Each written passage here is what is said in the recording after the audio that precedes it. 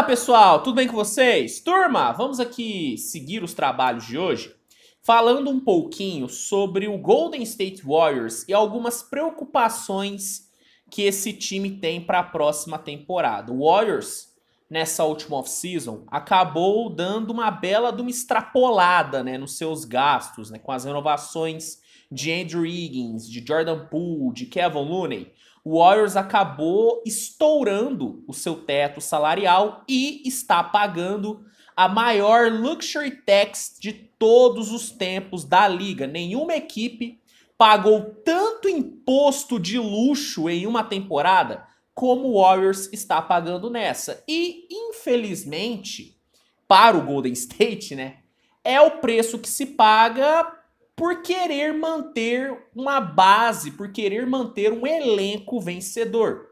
A partir do momento que você tem um elenco que é campeão, esse elenco acaba se valorizando. E quando esses jogadores precisam renovar, o preço é muito alto. E para manter todos esses caras, você tem que gastar. E o Golden State como não quis perder nenhum jogador que foi campeão na última temporada, acabou renovando com todo mundo e agora, né, tá pagando o preço que é, né, multas simplesmente milionárias por conta dessas renovações. E por conta do das mudanças que a NBA vai ter no teto salarial a partir da próxima temporada, a liga vai ser bem menos tolerante com as equipes que não seguem a risco o teto salarial. A tendência é que o Golden State tenha que começar a abrir mão de alguns jogadores. Né? O Warriors vai ter que começar a não renovar alguns contratos. E uma das renovações que mais preocupa né, o Golden State e os torcedores em si é a renovação do Drummond Green. Né? O Drummond Green ele tem uma player option né, para a próxima temporada, uma player option que caso não seja ativada pelo jogador, é uma player option de 27,6 milhões, de dólares. Caso o Drummond Green abra a mão dessa player option, ele pode se tornar agente livre e pode buscar um contrato maior e, e essa parece ser a tendência, né? O German Green tem falado sempre que possível que ele quer buscar né, o maior contrato possível nessa próxima off-season e como o Golden State, por conta dessas mudanças no teto salarial, muito provavelmente não vai poder gastar tanta grana na próxima off-season, a chance do Drummond Green deixar o Golden State é realmente muito grande. E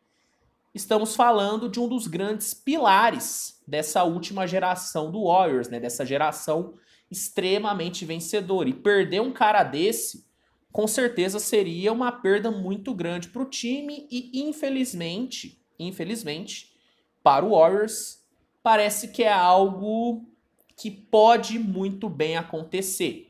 Além do Drummond Green, uma outra renovação que preocupa, né, Warriors é a renovação do, né, GM Bob Myers, né, o Bob Myers que é GM do Golden State desde 2012 e venceu por du duas vezes o prêmio, prêmio de executivo do ano. O Bob Myers, ele está em reta final de contrato e não tem contrato garantido para a próxima temporada. E estamos falando do cara que montou esse elenco absurdo, esse elenco que foi campeão quatro vezes. Então, o Golden State Warriors pode, na próxima off-season, perder de uma vez só o Draymond Green, que foi um dos grandes pilares desse time multicampeão e é um dos maiores jogadores da história da franquia, e pode também perder o Bob Myers, que foi o cara que juntou esse elenco, que montou esse time quatro vezes campeão nos últimos anos. Perder essas duas peças com certeza seria um baque muito grande no Golden State. E a chance de acontecer é grande demais, porque o Warriors não vai poder gastar muito na próxima off-season, porque vai ter que tentar ficar o menos possível acima do teto salarial. Se enquadrar no teto salarial vai ser quase que impossível para o Golden State, porque o time tem uma folha salarial gigantesca. Gigantesca. O time não vai conseguir ficar dentro do teto salarial, mas vai ter que tentar ficar o menos possível acima. Então, infelizmente, né, um desmanche né, do elenco do Warriors parece ser algo inevitável para os próximos anos. Parece ser algo inevitável e esse desmanche pode começar com as saídas do Bob Myers e do Draymond Green. O Stephen Curry, que é o grande nome do Golden State, o grande nome da história do Golden State, cedeu uma entrevista essa semana para a 95.7 The Game Stain Guru, onde ele foi perguntado sobre esse desmanche que o Warriors pode ter nos próximos anos. E o Curry, ele se mostrou bem otimista, bem otimista em relação à possibilidade do Warriors conseguir dar um jeito de ficar com todo mundo. O Curry falou o seguinte: Ainda sinto que podemos manter todos juntos. Obviamente, entendemos o quão importante Bob é entendemos o quão importante é o treinador, nosso núcleo, Draymond, Clay, André. Embora ele tenha tido um ano difícil com lesões e outros enfeites, ele tem sido extremamente valioso nos bastidores para ajudar a manter nossa cultura. Mas ainda está provado que pode vencer e você realmente não mexe com isso. Então, sinto que enquanto pudermos continuar a provar isso, isso torna a conversa um pouco fácil. Então, assim, na visão do Stephen Curry, o fato desse time, o fato desse núcleo estar vencendo, estar conseguindo ser campeão, pode fazer com que o Joey Lacob, o dono do Golden State Warriors, aceite sofrer algumas penalidades para manter esse elenco junto. Pelo menos foi a interpretação que eu tive da fala do Stephen Curry. E de fato, por um lado, o Curry tem razão. E na verdade, é isso que tem feito esse núcleo permanecer junto. Se o Golden State Warriors não tivesse sido campeão na última temporada, eu acredito que o Joey Lacob não teria renovado com o Andrew Wiggins, não teria dado essa extensão para o Jordan Poole e talvez teria já trocado o Draymond Green, porque talvez o Lacob poderia interpretar que o time já chegou, já entregou o máximo que poderia. E aí ele começaria uma espécie de reconstrução. Mas como o time ganhou, ele se sentiu na obrigação de manter todos esses caras juntos porque ele enxergou mais uma janela de título. Então, por um lado, o Curry tem razão. Se esse time nessa temporada bater uma final de conferência, por exemplo, eu acho que o Joey Lacob vai, sabe, tentar de novo, é, sabe, esquecer as multas que ele vai ter que pagar para tentar manter ali o Draymond Green, para tentar manter ali o Bob Myers. Eu acho que isso pode acontecer. Só que, na minha visão, e assim, infelizmente a realidade é essa, é inevitável esse desmanche do Golden State. É inevitável, tá? O Warriors pode acabar conseguindo convencer o Draymond Green a ativar a sua player option e ficar mais um ano na equipe ganhando ali 27,6 milhões de dólares. Pode.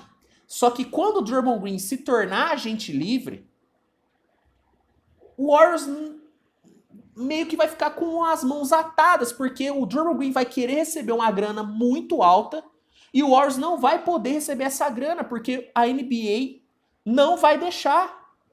A NBA vai punir tanto o Golden State que o time não vai poder dar essa grana pro Draymond Green. A mesma coisa com o Bob Myers.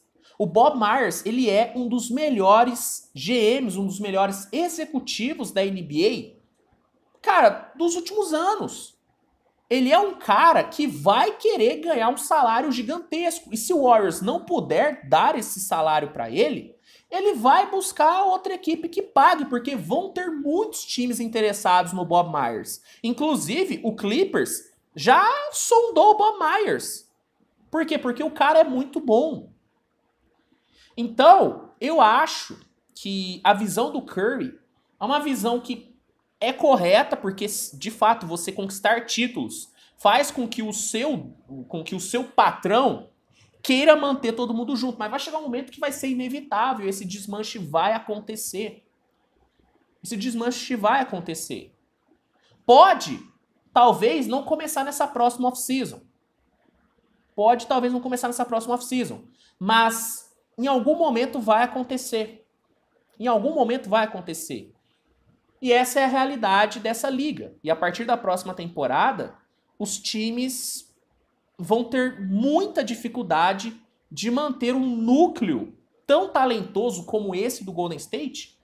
Vai ter muita, os times vão ter muita dificuldade de manter esse núcleo junto por muito tempo, porque as novas regras em relação ao teto salarial não vão permitir.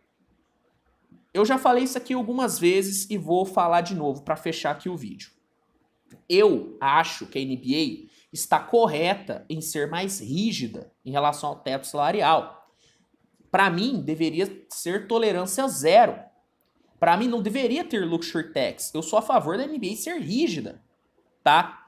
Mas eu entendo os problemas desse, desse aumento de rigidez, desse, dessa diminuição de tolerância. E um, da, uma das, um dos problemas disso, né, um, um dos, uma das sequelas disso, é o desmanche de dinastias, é o desmanche de elencos extremamente vencedores, porque esses elencos não vão conseguir se sustentar, porque as equipes não vão conseguir mais ter o, o, o poder de pagar esses caras, entende?